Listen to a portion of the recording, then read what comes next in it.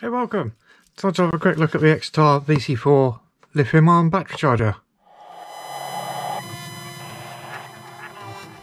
So I picked this up.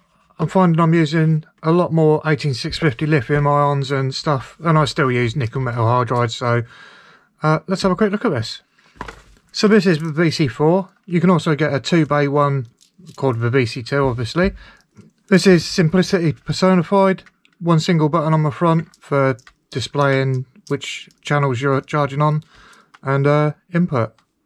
The cable that comes with it is a standard USB on one end, USB 3 by the looks of the colour blue, to a DC barrel jack, just plugs in and plug it into a good old phone charger.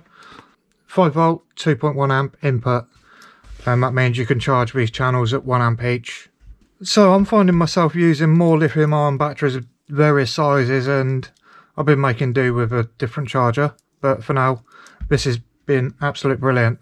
18650, 16650, 14500s. I'm using 16500s as well, and double A nickel metal hydrides. It'll do triple A's.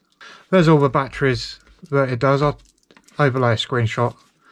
VC4 has over voltage protection, um, reverse polarity, and it has a recovery feature. So if you get these below like 3 volts, some charges can be a bit finicky. This will trickle charge these back to a safe state uh, if applicable. I've tried some nickel metal hydrides, really old ones, and it brought them back to life, so that's all good. I'm going to swap the camera out for one that will pick this screen up a lot better than this. So bear with me.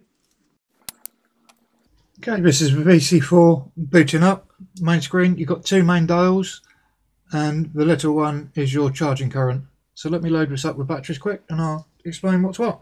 Right, channel 1 I've just put an 18650 in. Channels 3 and 4 I've got AA nickel metal hydrides.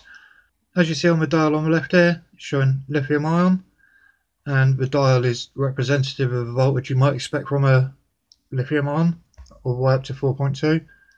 Uh, the flashing figure here is how much current is currently being put in to the battery. Channel 1 here, channel 3 here. A quick press on the button just toggles which channel is displayed. So there you go, channel 4. Half an amp input. I think that's half an amp for each channel. Only other thing, the lights change.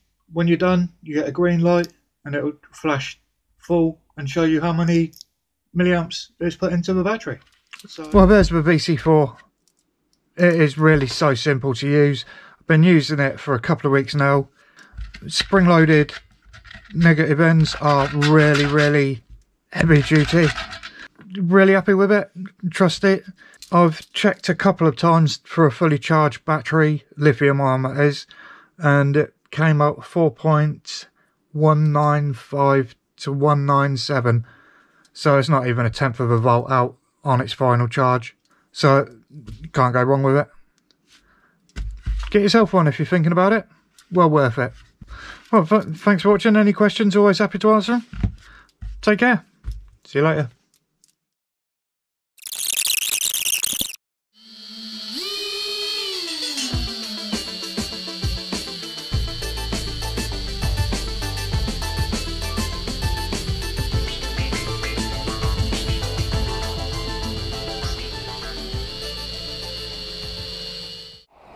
Eu falei, ai.